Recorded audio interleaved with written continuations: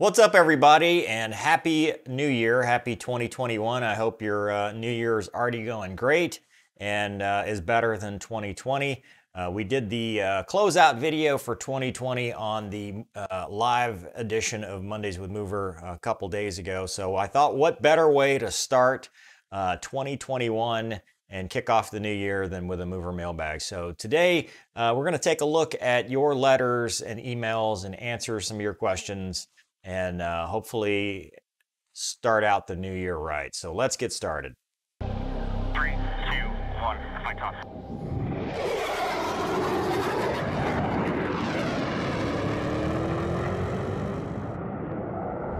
The first one uh, is from Presley in Kentucky.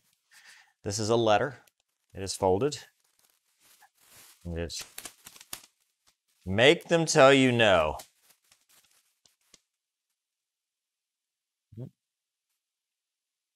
That. Pretty cool.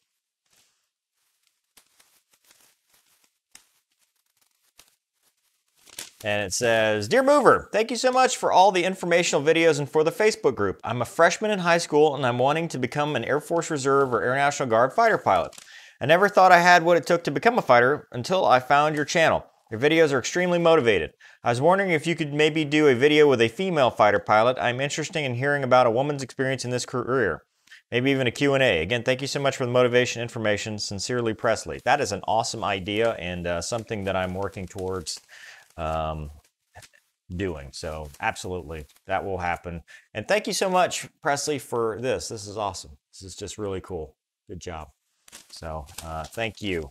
We'll definitely try to get a, a woman's perspective because uh, I, I, do agree. I think that you know uh, that would be a great interview. All right, this comes from Charles,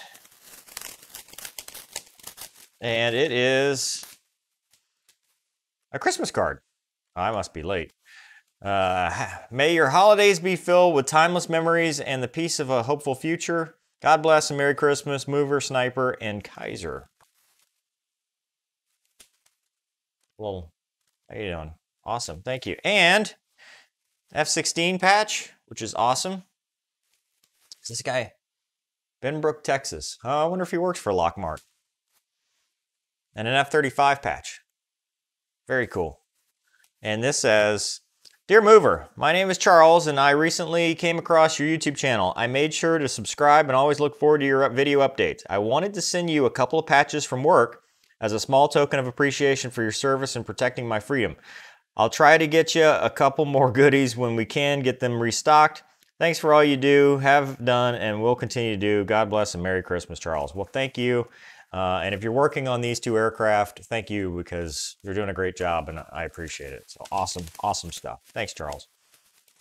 All right, this comes from Yellow Dog Adventures World Headquarters, California.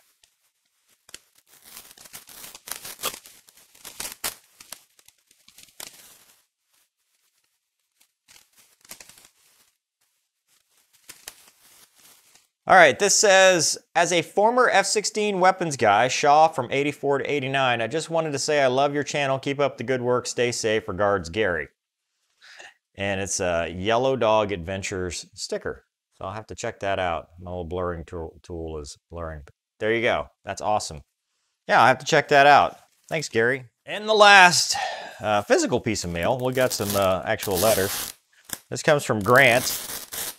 Let's read the card first. You always read the card first, right? That's the etiquette. And Grant says, Merry Christmas, Mover. This might be getting to you after December 25th, so Happy New Year as well. As someone who loves things that go fast in writing, I'm super grateful for all the work you've put into your channel and books. Since you're both an Air Force and Navy guy, it seemed only fitting to include a gift featuring both services. The Hornet is hand painted, so it's by no means the best out there, but it just seemed right to paint it like the River Rattlers you flew with. The knife is for all your survival needs or opening boxes. I'll let you choose. Thanks again for your inspiring work and for just being a good person. Can't wait for what comes next. But in the meantime, stay safe out there. Say hi to Kaiser and Sniper for me. Happy holidays, Grant. P.S. We ought to see a DCS Tomcat video with you and Gonky as pilot in RIO. Just an idea, yeah. Talk Gonky into being my RIO. So check this out. Oh, look at that. Look at that. Cool. That is great. You did a great job with this. Awesome. It's got a little stand and everything. Oh, there we go. Go anywhere now. Put behind my little Corvette. Awesome. Thank you so much, Grant. And a knife. See what the knife. Ooh. Oh, it says Air Force. Dude, holy crap. It's got a seatbelt cutter and a um, window. That is awesome. Look, it says Air Force on it. Don't blur it. There you go. Wow. 440 stainless steel. Dude. That is awesome. Thanks so much, Grant. Good job. I mean, I appreciate it.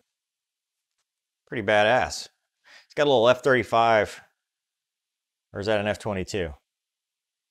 I can never tell from the top view, but awesome. Awesome. Thanks. Thank you so much. That was cool. All right, let's take a look at some of your emails. All right, Steve says, CW, I have a question I thought you might be well placed to advise on. I'm originally from Ireland via the UK, and my father was in the RAF for 30 years. As a teen, I got to fly in ride along type flights in the Hawker Hunter, Phantom II, and Tornado. Wow. As all of my friends were pilots in the RAF, IF, and USAF base in the UK. My daughter is 15 and is keen on finding a way in a modern fighter ride along flight. I looked for options of this, but kind, can find nothing in the western North Carolina area. We semi regularly get buzzed by low flying aircraft jets on training over the North Carolina mountains where we live.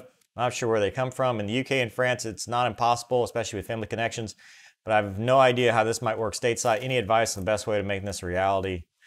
Uh, best of luck for 2021. What could possibly go wrong? That is awesome. That, that that's not going to happen in um, United States. I mean, wow, that is. I mean, it's it's it's awesome. It's cool. I'm glad that that that happened. But in 2021, family members and a 15 year old um, are not going to ride in jets. Now, the way incentive so there's two types of of flights, and people ask us a lot. Incentive flights, and those are dedicated flights where it's their ride. So we'll go in a two seater, uh, like F 16. I used to do a whole bunch of incentive flights, and it's a dedicated profile for that person. Um, so, like at Homestead, we used to go take off, do an unrestricted climb, go do a low level, fly to one of the warning areas, do a supersonic run, then pull nine Gs, then do some aerobatics, and then come back. Um, those are specifically for uh, award winners. So um, main, maintainer um, types usually, but uh, any uh, enlisted usually or officer that won some kind of award, quarterly award or something like that is what we would do. Um, I don't know if civilians would get it, but the problem is you typically need to be on some kind of military status to go do it. However, we do incentive flights for media um, and um, famous people and sometimes politicians, like we did one for um, Congressman Steve Scalise when I was uh, at VFA 204. The River Rattlers, he got a ride in F 18. But typically, no amount of connections will get you a ride because there's a whole lot of paperwork that has to be done. There's a whole lot of red tape. There's a lot of bureaucracy. It's not just hop in and go. The other side is what's called familiarization flights. We call them FAM flights, and those are part of the mission. So it's usually someone that, um, as, so as a not to interfere basis, they ride in the back. Usually that means they have an altitude chamber card or they get a waiver. Uh, so they don't need one. They just get the short training. They don't actually have to have the card. Um, and we go do a normal flight. So it's not a dedicated ride. They just hop in the back seat and we're already doing stuff. Uh, for fighters, that's a little bit more challenging because of all the classified stuff. They have to have a security clearance. For like the T 38, uh, it's typically ROTC cadets, um, people that uh, have won awards. It's a very similar thing. But in general, uh, I have never heard of just a family member uh, getting that. I just I don't think it's it's possible here now. Now, if she were to join ROTC and you know in the summertime when they go you know do summer stuff and come to the squadron and, and help out, possibly. Um, I've flown with a lot of ROTC cadets that way, but just in general, um, if you're not a celebrity or politician or something else as a civilian, it's just not very likely. But there are ways you can pay for the rides. Uh, there's a couple jet places around the world that'll actually take you for a flight. Uh, there's like a MiG flight, L39 flight, all that stuff. You can Google it. There's all kind of stuff like that. But sorry, uh, I wish I had a better answer, but unfortunately, that's just uh, reality uh, these days. All right, this comes from Jeff. Uh, Jeff says, Hey Mover, first I want to say I'm officially a huge fan of your books. I've always enjoyed political espionage, and Tom Clancy is my all time favorite. Then I got into Mitch Rapp series by Vince Flynn. I like Mitch Rapp, very good. I stumbled across your channel on YouTube, had to try out your book, I Am the Sheepdog. In addition to being a National Guard MP, I'm also in law enforcement for NASA. I know it sounds weird, but it's real. Couldn't put it down. So my wife got me Spectre Rising again. I couldn't put it down. Congrats on the great books. I hope you keep writing. Anyway, my question is how would I go about requesting a ride along in a military aircraft? It's one of the last things on my bucket list. I know the Thunderbirds and Blue Angels only do them for the media and celebrities, but how do operational squadrons do them? I appreciate your time. Yep, see my the, that previous uh, question that was just answered, but uh, thank you for reading. Uh, I'm glad you enjoyed the books. I'm sorry I don't have a, a better answer. Uh, if you're in the guard, though, um, you've got a better shot. So if, you get like Airman of the Quarter or uh, NCO of the Quarter or NCO of the Year or something, that if your guard unit has that, that's the way you do it. But it'd have to be with your guard unit, not somebody else's. So uh, that's a tough one. All right, this comes from Ben. Which path to service has the most pilot billets? Hi, CW. I love your videos and the make them tell you no mentality. I'm in high school and working towards my private pilot's license. I plan to join the Navy to try and become a naval aviator, and I was wondering which active duty route has the most pilot billets. Also, I'm making a club to try and raise funds for Folds of Honor. I'm doing this because I hope to be a better person in my community and also to help wounded veterans. However, I was wondering if this would help my chances of getting into the Academy and ROTC scholarship. Thanks, Benjamin. Um, okay, if you're trying to get, are you talking Navy or Air Force? I don't know the numbers. That's what I'll say. I don't know the numbers. Um, my advice is always just to apply to both and pick one. You know, it's better to have options than not. If you're looking to get into the academy or ROTC, I think the academy or chances are about the same, whether you go Air Force or uh, Navy. Uh, ROTC, I think either way. Uh, the only thing about the Air Force is you've got more options because you can go academy, you can go ROTC, you can go OTS, you can go guard or reserve. The Navy, you've got the academy, ROTC, and OCS, and that's pretty much it. Um, as far as options to get a pilot slot. But uh, as far as your question on Folds of Honor, first of all, I think it's awesome that you're doing that. Uh, Folds of Honor is a great cause that I highly support. But um, it, just make sure you're doing it for the right reasons. I, I liked your first reason because you want to help. Um, trying to use it for resume fodder, I don't know. Um, I think it will help. I mean, volunteer stuff, anything you can put on your resume that shows that you're active in the community and trying to help others will absolutely help. Just make sure your motives are pure and not just trying to, to beef up your resume. But yeah, I think it would help. And also, not just volunteering to do that, but you know, Civil Air Patrol, other stuff would probably help as well.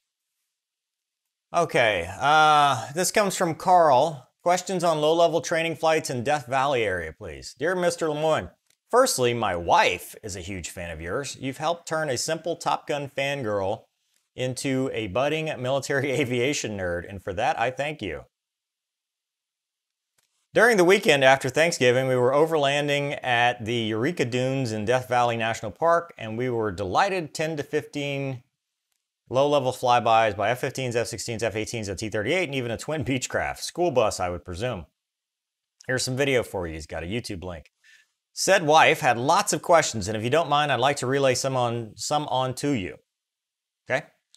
Have you ever flown or trained in that area or through Star Wars Canyon? If so, what was it like? No, I personally have not. I've always wanted to do Star Wars Canyon, but I've never had that opportunity.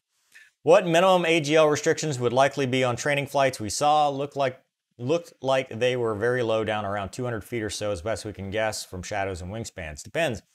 Uh, typically, Air Force is 500 feet uh, or 1,000 feet, depending on if you're dual, if you uh, you're if you're solo or you're a two ship, um, and what your qualifications are. They can go down to 100 feet, uh, depending on their quals, uh, the low altitude step down training. The Navy was 200 feet when I flew, so that's as low as you could get, um, 200 feet AGL. Uh, is there any centralized air traffic control or aircraft announcement frequency for the area so flights from Lemoore, China Lake, Nellis don't get tangled up with each other during low level runs? Yes, not an air traffic control. So center will control you entering the low level route structure, and then you make uh, reporting. And there's so the low level itself uh, will have a, a, radio frequency where you make the announcement that you're entering the low level for however long. And then uh, sometimes they may have reporting points where you have to announce when you're hitting that point. But uh, that's usually for low level. When we're in airspace, uh, sometimes there's mission control. Um, for example, when I go fly at Eglin, Eglin missions, they control the overwater ranges and the overwater airspace. We check in with them and then we deconflict amongst ourselves. Uh, thanks, Carl. P.S. That interview with Shoes was absolutely excellent. Yeah, best one of 2020, I think, for sure. Thank you for the email, Carl, and uh, I hope your wife still remains a fangirl. This comes from Chris. Chris says, My name is Chris. I'm a former Marine Sergeant Infantryman. I'm an OIF and OEF veteran with 10 years in service before being medically retired. I recently found your YouTube channel and have been watching virtually all of your videos as time allows, and I must say it's such a great distraction from all the political stuff that's been happening in our world lately. No kidding. I really do feel that I miss my calling as being a fighter pilot. This was my lifelong dream as a, as a kid. I even went to college for a mechanical engineering degree to pursue that path. Somewhere I got distracted by work and life circumstances and decided to give up on my dream of being a pilot and join the Marine, Marine Corps as an enlisted infantryman. With that being said, I'm still a huge airplane and helicopter enthusiast as I'm a, the grandson of a wild weasel. My grandfather flew F 105, F 86, F 4s during a four year Navy cross deck tour and retired as a brigadier general, one of the last commanders of the last fighter squadron stationed at McClellan Air Force Base in Sacramento in the late 80s. One of my biggest regrets is not taking the time to sit down and either write a book about or make a docu-series about his experience flying in Korea and Vietnam. He was an amazing man. I miss him dearly. So that's we have lost a lot with some of our uh, veterans. Uh, that's a good point. With all that being said, I have to say that your channel has been an inspiration, has rekindled my love of airplanes. Unfortunately, due to some injuries sustained in combat in Afghanistan, I have pins in my back and hips.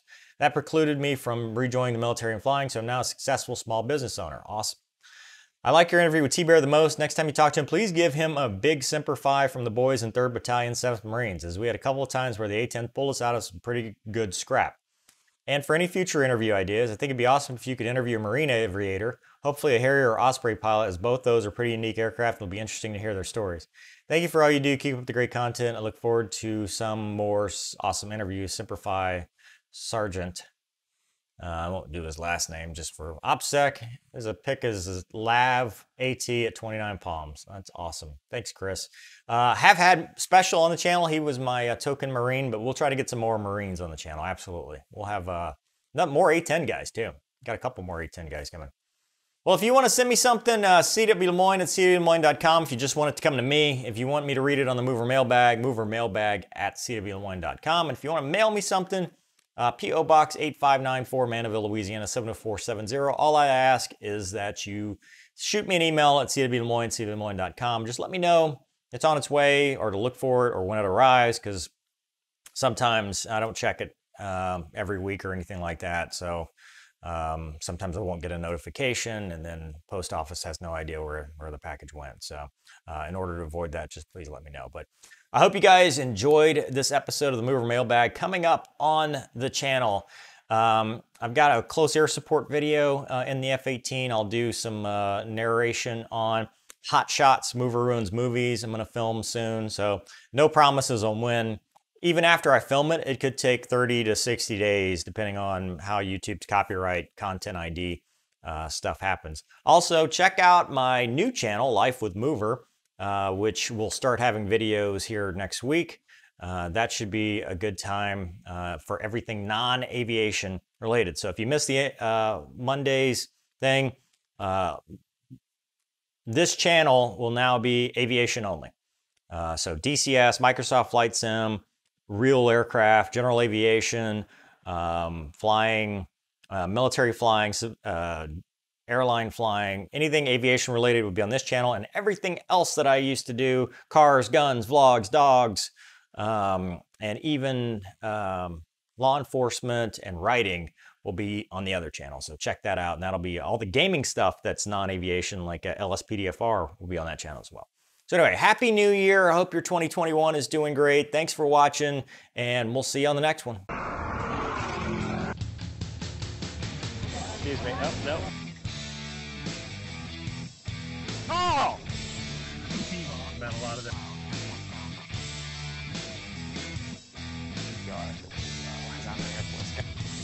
Usually fine with the doors off.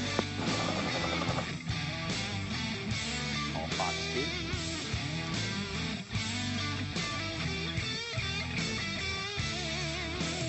Don't be a douche. That's rule number one. Make them tell you no.